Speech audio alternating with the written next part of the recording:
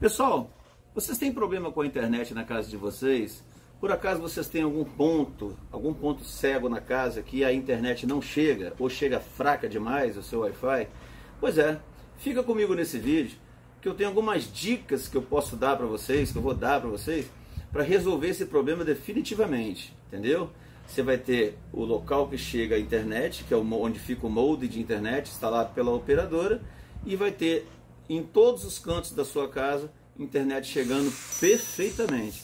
Não esqueça de deixar o like aqui no vídeo e compartilhar se vocês puderem ajudar a gente a crescer com o canal. É isso aí, galera. Muita gente reclama de, de internet que tem lugares na casa que não funciona, beleza? A internet chega forte no local que está instalado o molde de internet, mas num quarto de dentro, ou num corredor, ou na cozinha, ou lá no banheiro, a internet já não chega mais, o Wi-Fi já chega fraco. Isso é normal, tá? Isso é normal porque o molde de internet, por mais forte que ele seja, ele não tem capacidade de jogar a internet nos quatro cantos da casa. Mas aonde ele está instalado, vai funcionar tudo perfeitamente no Wi-Fi, tanto no, no, no, cabo de rede como no Wi-Fi vai funcionar perfeitamente. Por quê? Porque naquele quadrado ali não tem barreiras que impeça da sua internet funcionar, do seu dispositivo dar algum problema. Beleza? Então eu tenho uma dica importante. Essa aí é a dica que todo mundo sabe, é o que todo mundo mais faz. Mas ainda tem muita gente que tem, que não sabe disso. Por incrível que pareça, tem pessoas que, que chegam aqui na loja perguntando o que fazer para resolver.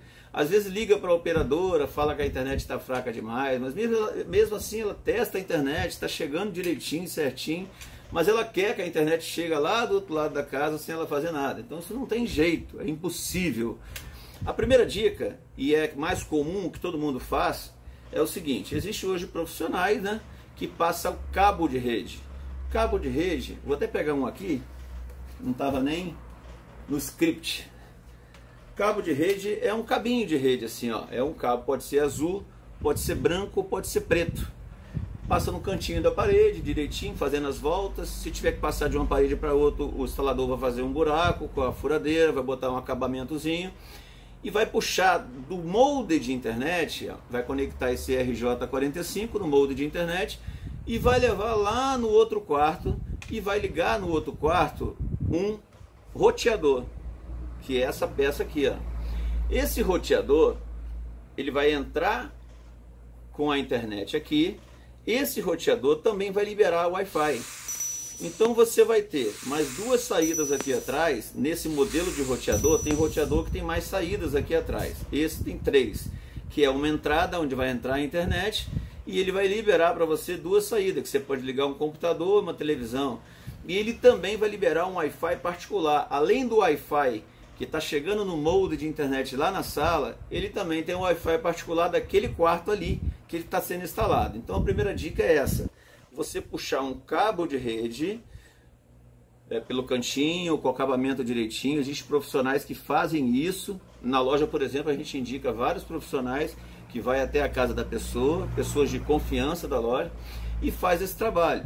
Os trabalhos giram em torno hoje de 50, 100, dependendo do local, até 150, 200 reais. Mas não fica rastro, não fica nada pendurado, feito de qualquer jeito. Beleza? São profissionais que vivem disso. Então, a primeira dica é você botar um roteador cabeado com um cabo de rede. Beleza? Aí você resolveu o problema de um quarto, por exemplo. A sala tá legal, porque tem o Wi-Fi, o molde tá ligado ali. Então ali está tudo funcionando legal. Você puxou um fio, ligou lá no outro quarto e está chegando lá com o roteador. Você tem o Wi-Fi particular no seu quarto para um celular, para um dispositivo sem cabo e pode ligar um computador, um TV Box aqui ou uma Smart TV. Legal, perfeitamente. Show. Mas a sua casa é grande.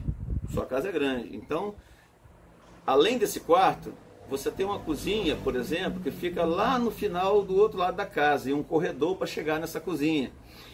No corredor ainda chega o Wi-Fi. Chega talvez o Wi-Fi desse roteador ou o Wi-Fi lá do modem que está na sala. Chega ali no, corredor fraco esse Wi-Fi. Mas lá na cozinha o Wi-Fi já não pega direito. Às vezes pega e às vezes não pega, por causa da oscilação da internet. Então o que, que você tem que fazer? Então existe um aparelho hoje chamado repetidor de sinal. Isso aí é uma coisa que as pessoas, que, que menos pessoas sabem que existe, mas já existe há bastante tempo, beleza? Esse repetidor de sinal, você tem que botar ele aonde a internet ainda está chegando. Você não pode botar, por exemplo, lá na cozinha que não está chegando internet, você não pode botar ele lá, porque lá ele não vai captar o Wi-Fi. Esse, esse aqui ó, é, um, é um repetidor de sinal, beleza? Vou mostrar muita marca porque eu não quero fazer propaganda de ninguém aqui, não é meu intuito esse, beleza? Aqui é um repetidor de sinal. Você vai ligar ele na tomada, na energia, na parede, naturalmente, conectou ele na energia, ele vai buscar o Wi-Fi no local que ainda está chegando, por exemplo, você quer na cozinha, no corredor ainda está chegando, você vai ligar ele no corredor. Ali no corredor, ele vai achar o Wi-Fi tanto do roteador ou do modem lá da sala. Ele vai turbinar esse Wi-Fi aqui no corredor e na cozinha do outro lado da casa, perto já do, da, do caminho que está ligado o repetidor, vai chegar o Wi-Fi. Então essa é a grande dica desse vídeo, tá? Um repetidor de sinal de Wi-Fi. Por incrível que pareça, tem gente que ainda não sabe que existe isso aqui. Isso aqui já existe há bastante tempo. Isso aqui é um, é um repetidor de sinal. E tem gente que ainda não sabia que existia. Entendeu? Então, só recapitulando para você. Aonde está o modem tem internet normal, não vai ter problema nenhum. Aí você leva para o quarto de dentro, já cabeado, para ligar o roteador no quarto de dentro. Só que você quer a internet do outro lado da casa. Aí já o roteador também não aguenta levar lá. Por quê? Porque está longe do modem. Aí você chega no corredor, antes de você chegar na cozinha, bota um repetidor de sinal, que ele turbina o sinal que vai chegar, que está vindo ainda fraco, mas está vindo lá do modem, ele turbina esse sinal de Wi-Fi ele fica forte e chega até na cozinha, aonde você quer, por exemplo, estar tá lá cozinhando, estar tá fazendo alguma coisa na cozinha, conversando, tomando alguma coisinha com um amigo, tal, sentado na mesa ou jantando, tal, e quer fazer alguma coisa no celular, por exemplo, vai funcionar perfeitamente. É, só mais uma coisa que eu queria dizer aqui nesse vídeo. Existe operadora que não está colocando para você o molde de internet. Existe cliente que chega aqui na loja para comprar um roteador para colocar na sua casa para chegar à internet da rua que a operadora está te fornecendo para ligar nesse, nesse roteador. Isso é inadmissível, galera. Isso, entendeu? A operadora ela tem a obrigação, tá? Isso é resolução da Anatel. Isso aí é, ela é obrigada. Ela é obrigada a colocar para você um molde de internet. Então chega a internet da rua entra na sua casa, ela é obrigada a instalar a internet para você na sua sala, ou no seu quarto, ou onde você quiser dentro da sua casa. E quando ela instala a internet, ela tem que colocar para você um modem de internet. Mas não é um modem porcaria. Hoje em dia existe o modem de internet que libera Wi-Fi. É esse modem que ela é obrigada a colocar. Beleza, galera? Então, não adianta entrar em detalhes com você aqui de lei, de resolução, de nada. Eu só estou falando com você que existe e que é verídico.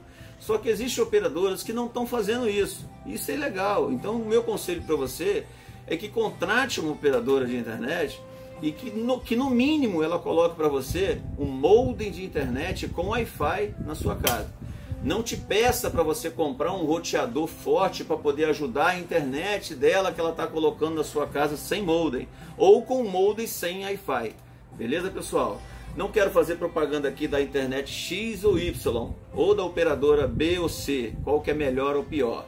Melhor é aquela que te presta um bom serviço, um serviço de qualidade, um serviço completo, não pela metade. E um serviço completo, ela colocar um modem que libera para você o Wi-Fi. É, você não tem que comprar roteador para colocar num aparelhinho de, de modem fuleiro, porcaria que, ela, que, a, que a operadora de canto de rua está colocando na casa dos outros. Não. Eu estou falando isso de uma forma bem objetiva, por quê? Porque tem chegado muito cliente aqui para comprar roteador, porque a operadora mandou ele comprar um roteador para ligar nesse aparelhinho que ele tem lá na casa dele que ligou lá, mas não tem a saída de Wi-Fi. Isso é inadmissível. Uma operadora que se presta, ela tem que instalar na casa do cliente um modem de qualidade e que libere pelo menos o Wi-Fi para o cliente. Beleza, pessoal? Fica a dica de hoje. Espero que vocês tenham gostado do vídeo. Os meus vídeos são sempre assim, de forma um linguajar bem popular, tá? Bem assim esclarecido, bem não tem nada técnico. porque eu, eu não sou técnico, eu não sou engenheiro eletrônico, nem mecatrônico, eu sou uma pessoa apenas que entende um pouquinho de, de produtos eletrônicos porque eu estou trabalhando no meio. E eu fico com pena desse povo que chega na loja e que muitas das vezes está sendo enganado pela, pela, por essas empresas aí que só sabe sugar do povo. Beleza, pessoal? É, obrigado aí pela atenção até agora. Divulgue o vídeo, por favor, ou compartilhe, se inscreve aqui no canal. Eu estou sempre postando algo que a gente sente no coração, que Deus toca no coração para a gente postar para vocês, para educar, para informar, entendeu? Sempre de forma educativa mesmo. Beleza, pessoal? Forte abraço, muito obrigado aí pela atenção e até o próximo vídeo.